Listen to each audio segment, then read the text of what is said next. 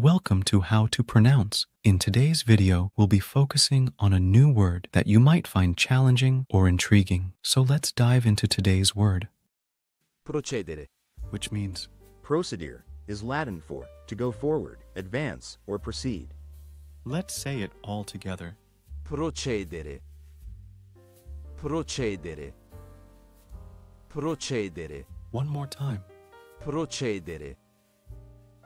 Procedere. Procedere. Thank you for joining us on this adventure in pronunciation. Remember, language is a journey, not a destination.